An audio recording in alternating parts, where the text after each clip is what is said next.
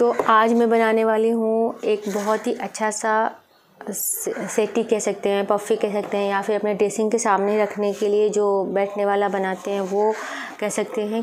Idea कैसे मैं, मुझे आया वो पहले मैं बता दूँ आप लोगों लोगों को कि क्या हुआ, रूम तो मेरा पूरा कंप्लीट हो गया है, मेरा ड्रेसिंग सब रेडी है, बट बैठने वाला मंगाती या बनाती, उससे पहले लग गया लॉकडाउन और मुझे करवाना है आप लोगों के साथ रूम टूर तो उसके लिए मुझे पूरा रूम कंप्लीट चाहिए, इसलिए मैंने सोचा मैं बनाती हूँ।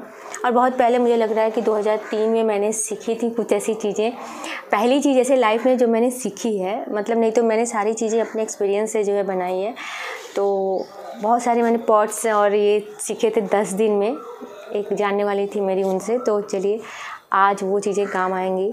तो उसके लिए हमें चाहिए क्या वो बता दूँ? कोई भी आपके पास बकेट हो डिब्बा हो जो मज़बूत लगे आपको जैसे मेरे पास आपको पता है इस टाइम पेंट बकेट की भरमार है तो ये मुझे सही लगा सबसे। इसको मैंने ऐसे गत्ते पीस लिए रखा है थोड़ा इसको मूव करना आराम हो। और उसके बाद पुट्टी भी मेरे घर में बहुत बची है तो ये तो पूरा पाँच किलो का है बट आप क्या है दो किलो ले सकते हैं एक एक किलो के दो पैकेट आते हैं वो ले सकते हैं ये वॉल पुट्टी है। आ, उसके बाद पेंट चाहिए। ये तो मैंने मैच बॉक्स लिया है इसका ये हैंडल निकालने के लिए। ये निकालूँगी इसको भी मेल्ट करके और एक बकेट चाहिए और एक सूती बेडशीट दुपट्टा जो भी आपके पास हो, जैसे मेरे पास ये पुरानी बेडशीट्स हैं बेडशीट है तो इसको मैं इसमें यूज़ करने वाली हूँ। बट अगर आपका कॉटन टॉप है, दुपट्टा है तो आप उसको यूज़ कर सकते हैं। तो चलिए स्टार्ट करते हैं।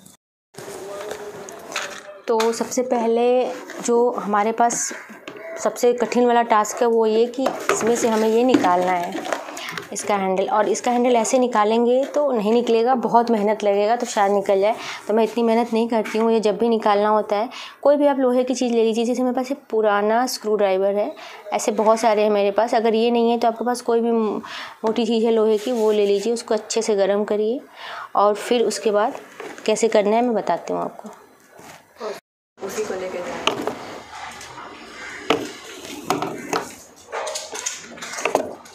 देख सकते हैं अभी इसको मेल्ट किया मैंने और बहुत आराम से निकल गया। कुछ नहीं करना है इसको अब। हम ऐसे इसको एक बार और गर्म, अगर आपको लग रहा है मेरा एक बार और चाहिए, मुझे गर्म कर लूँगी तो ये निकल जाएगा। हवा से बूझ गया। तो बस अब ये एक बार और गर्म करके हमें थोड़ा सा ये बचा है, इस पर लगा देना है। देखिए। हाथ संभाल कर नहीं तो फिर क्या होगा? जल भी जाएगा और चोट भी लग जाएगी।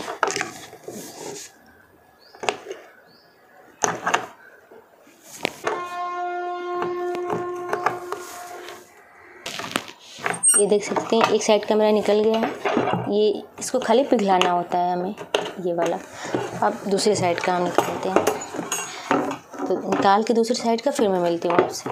आप देख सकते हैं, ये हैंडल मेरा निकल गया है और ये स्क्रू ड्राइवर है मेरा। ये ऐसे ही रहता है, ये ऐसे कामों के लिए रखा है मैंने। और ये अभी बाहर वीडियो बना रही हूँ, इसलिए मैंने ये रखा है। आप गैस पे भी कर सकते हैं। और ये काम मेरा हो गया। अब इसको मैं बुझा दूँगी। अब मैं अगला स्टेप स्टार्ट करती हूँ। तो अभी मैंने देख सकते हैं आप, ये बकेट में मैंने ये पुट्टी निकाल ली है। आप एक किलो के, ऐसा कोई मेज़रमेंट नहीं है, क्योंकि कितना बड़ा आपका बकेट है या डिब्बा है, या कितना बड़ा जो है आपका कपड़ा है, कैसा, उसके हिसाब से लगाते हैं। और इसमें पानी डालते हैं। ये बहुत अच्छा लगता है करने में, आप देखिएगा। चीज़ें नहीं नहीं। इसको मिला लेते हैं अच्छे से। तो अभी आप देख सकते हैं, मैंने जो बेडशीट थी मेरी, मैंने इसमें अच्छे से पुट्टी में इसको मिक्स कर ली है, पानी डाल के।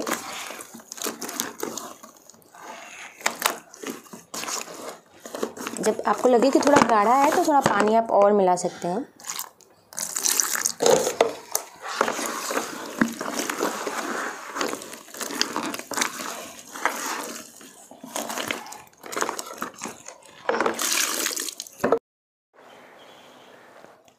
तो अभी आप देख सकते हैं कि मैंने एकदम बढ़िया से जो कपड़ा था, वो पुट्टी में अच्छे से घोल के मिला लिया है। अब मैं जो है, उस पर लगाऊँगी बकेट पे।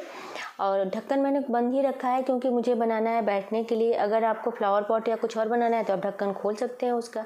बट मुझे सिर्फ़ और सिर्फ़ मुझे अपने ड्रेसिंग के लिए, बैठने के लिए बनाना था, इसलिए मैंने ढक्कन भी बंद करके साथ ही सारा शुरू किया है। तो बस लेके और आ, अच्छा मैं इसमें दिखाना भूल गई थी आप चाहें तो पहले पेपर चिपका लेंगे अगर अपने बकेट पे तो ये और आसानी से आपका हो जाएगा आप नया नया बना रहे हैं तो पहले न्यूज़पेपर या कोई भी पेपर हो चिपका लीजिए सेम पुट्टी में भिगा के उसके ऊपर कपड़ा डालेंगे तो और फटाफट बन जाएगा तो अगर आपका ऐसे नहीं बन रहा है तो फिर देखिए आप धीरे धीरे करके मैं जो है बनाती जाऊँगी और सारा एकदम हाथ से दबा दबा के उस पर आपको चिपकाना है। और पहले कपड़े को जो है अच्छे से एकदम पुट्टी में भिगाना है। जैसे एकदम कपड़ा सर्फ में भिगाते हैं वॉशिंग पाउडर में वैसे, तब जाके हमारा एकदम बढ़िया फिनिशिंग अच्छी आएगी। देखिए, कुछ ज़्यादा ये करना ही नहीं है, बहुत इजी है, इतना करके और आप एकदम परफेक्ट जो है, देखिए आप, आराम से बना लीजिए। फिर जब पूरा बन जाएगा, सारा जब लपेट लेंगे उसमें जो कपड़ा है हमारा तो इकट्ठे बहुत ज़्यादा कपड़ा नहीं डुबाइएगा। थोड़ा अंदाजे से कि हाँ कितना बड़ा मेरा बाल्टी है मेरी या फिर डिब्बा है मेरा, उसके हिसाब से थोड़ा थोड़ा करके भिगाते जाइएगा और उसमें लगाते जाइएगा।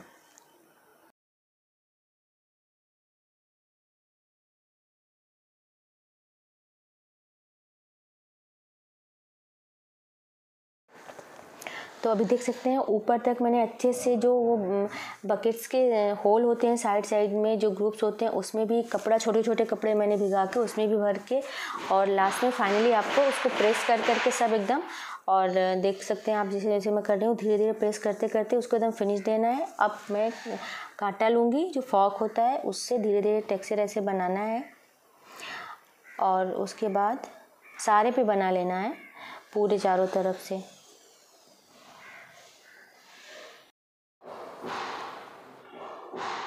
तो हमने जो है, जब मैंने पूरा वो कर लिया, एकदम बढ़िया से सारे टेक्सचर कांटे से बना लिया अब इसको मैंने रख दिया है छत पे अपने। सूखने के लिए। ये पूरा एक दिन अगर धूप अच्छी है तो आपका लेगा, सूखेगा पूरा तो अब हम इसको सूखने देंगे। अब ये अगले दिन की आप देख रहे हैं, अगले दिन का वीडियो। एकदम बढ़िया से ये सूख गया है और बहुत स्टडी और मज़बूत हो गया है। पुट्टी और कपड़े की वजह से जो बॉक्स था हमारा वो और ज़्यादा मज़बूत हो गया है। उसके बाद मैंने रख लिया है एक छोटी सी टोकरी बास्केट डिब्बा, जो भी आपके पास हो रख लीजिए। थोड़ा सा उसको पेंट करने में आसानी रहेगी और ले लिया है मैंने ब्राउन कलर का पेंट और ब्रश की जगह मैंने लिया है स्कॉच ब्राइट उससे क्या है? फटाफट होगा पेंट और जो है अच्छे से होगा। जो हमारे ग्रुप्स हैं, जो हमारे टेक्सचर्स बने हैं, वो सारे जो है उसमें एक एक में जो है कलर जाना चाहिए। तो आपको जो भी कलर पसंद है वो ले लीजिए बट मुझे क्या है कि ऊडी कलर देना था, इसलिए मैंने ये कलर लिया है। तो आप पेंट जो है करेंगे और उससे, आप चाहें तो ब्रश भी ले सकते हैं बट वैसे भी लॉकडाउन में ब्रश कहाँ मिलेगा? तो मैंने यही वाला जुगाड़ निकाला है। और मैंने लिया है ऑयल पेंट मेरे हिसाब से ऑयल पेंट सबसे बेस्ट होता है, सस्ता भी पड़ता है शाइन भी रहती है और जो है मज़बूत भी होता है। थोड़ा टाइम लेता है सूखने में खाली, लेकिन बाकी सब में बहुत अच्छा रहता है। तो बस ऐसे करके धीरे धीरे करके हमें उस पर टैप टैप करके, सारे जितने टेक्सचर हैं उसमें अच्छे से फील करते हुए पेंट कर लेना है। दस से पंद्रह मिनट लगते हैं, इससे ज़्यादा नहीं लगते, मुझे लगता है पेंट करने में, फटाफट हो जाता है।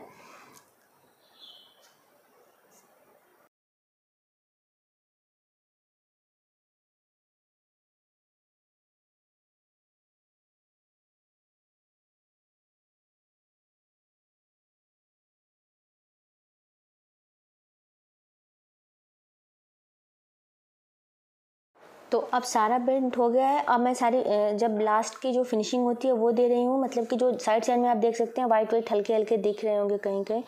तो उसमें भी जो बचा है कि दो जो जगह वाइट वाइट वो सब में मुझे कलर भरना है। क्योंकि उसी से एकदम नेचुरल उड़ाएगा। कहीं भी वाइट दिखेगा तो फिर हमें लगेगा वो आर्टिफिशियल है। तो सारा एकदम बढ़िया से फिनिश करना है उसको। एक एक जगह देख के, जहाँ नहीं है, उसको स्पन से डैब डैब करके आपको पूरा एक एक जगह देख लीजिए, जैसे मैं भर रही हूँ, वैसे करना है। अब, देख के भी आपको लग रहा होगा कि एकदम जो वो मोटी वाली डाली होती है पेड़ की, वो है। अभी तो और भी अच्छा लगेगा जब थोड़ा सूख जाएगा तो। अब इसके बाद मैंने ढक्कन को भी ऊपर से ऐसे सिर्फ़ नॉर्मल पेंट कर लिया है, क्योंकि उस पर ज़्यादा है नहीं, उस पर हम एक कुशन रखेंगे। तो इसलिए मैंने पेंट कर लिया है। और देखिए आप कितना तो अभी आप देख सकते हैं कि मेरा रेड एकदम बढ़िया रेडी है और दूर से आपको चाहे जैसा भी लग रहा हो पास से चल के आपको दिखाती हूँ एकदम स्टडी मज़बूत।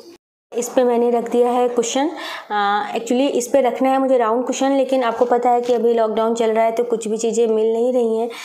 तो अभी मैंने इसको रखा है। वैसे ये ज़्यादा कंफर्टेबल है मुझे लगा ऐसा। मैंने यूज़ भी किया इसको बैठ के आ, अपने ड्रेसिंग के सामने। और जल्दी ही जब टूर आएगा तो आपको देख, दिखाऊँगी उसमें। और ये मैं आपको दिखा रही हूँ, नीचे इतना मज़बूत हो गया और देखेंगे ना, ये एकदम नहीं लग रहा है कि ये किसी आपके पुराने फटे कपड़े को लगाया है, मज़बूत और एकदम लग रहा है जो पेड़ पेड़ की डाल कट, काट के आजकल चले हैं सीटिंग वाले, वो एकदम लग रहा है। बहुत बढ़िया, बहुत मज़बूत और मतलब मुझे बहुत अच्छा लग रहा है यहाँ पे अपने ड्रेसिंग के लिए, एकदम अपने मतलब वाइट थीम है रूम का तो इस कलर का मेरा जो है ये हो गया और मुझे बहुत अच्छा लग रहा है और एक बार ज़रूर ट्राई करिएगा। और मैं एक दो और ऐसे बनाने वाली हूँ। ये थोड़ा सा नीचे बकेट छोटी थी तो इसलिए मैंने यहाँ के लिए बनाया क्योंकि छो, छोटी बकेट में थोड़ा सा बैठने के लिए सीटिंग वाला सही आया है। और बाकी सारे लंबे हैं मेरे पास तो वो भी मैं बनाऊँगी।